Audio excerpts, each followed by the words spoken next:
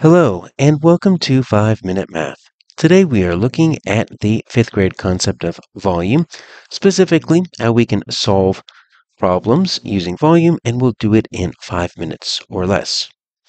So we have just a basic rectangular prism here, and sometimes rather than giving us the dimensions, we might see something like this. We might be given the volume, and so let's just pick something Let's just make it nice and even. 100 cubic centimeters. That 3 exponent, that's what stands for cubic. That means that we could stack 100 cubes that each 1 centimeter uh, in volume, 1 cubic centimeter. We could stack 100 of them inside this rectangular prism. That's what that means because we're measuring the amount of space inside this object. What could the dimensions be? There's two different ways, remember, we can think about volume.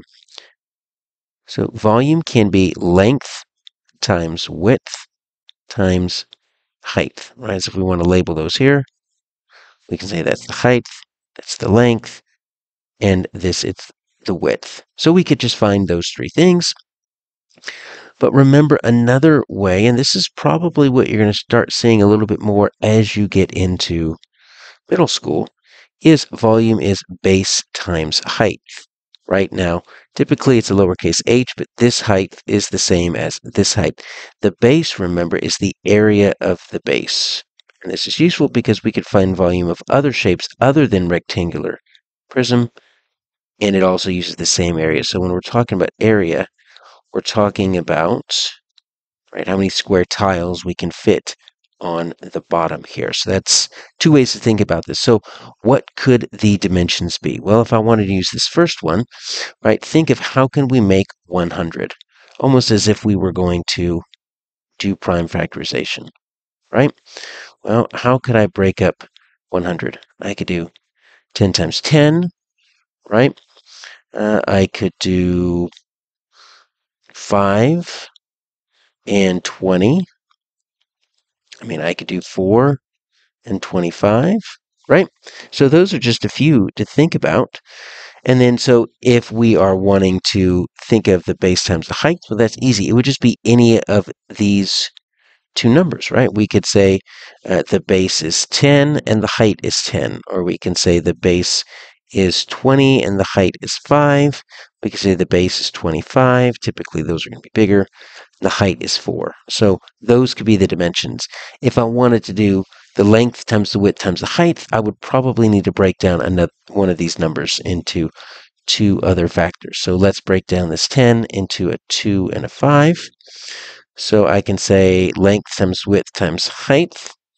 It could work, and I'll just kind of list it like this if, let's see, my uh, length was 10, my width was 5, and my height was 2. That would multiply out to be 100. Or I could do this, right? Uh, this could be a 10 and a 2. And look at that. It ends up being the same because that's how prime factorization works. So this one's going to be a little bit different. We could do 5 and 5. Right? We could say length of 4, height of 5, width of 5. So those are some different ways to think about how we can solve for volume by get, being given the volume and then thinking of what are some different dimensions that would match that volume. Sometimes we're just given a basic word problem without any visual, so I always suggest drawing a visual here. So let's draw our rectangular prism. All right, we're going to start with a rectangle, draw some parallel diagonal lines off to the side.